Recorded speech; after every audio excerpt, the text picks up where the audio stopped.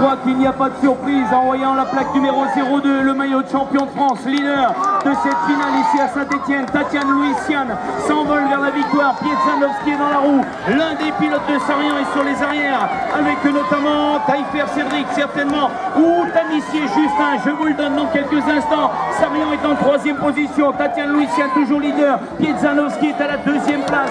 Et c'est Tamissier. Et c'est Tamissier de Sarian qui est rentré en troisième position et qui montera sur la troisième marche du podium. Vainqueur sur cette air, Tatiane Louis.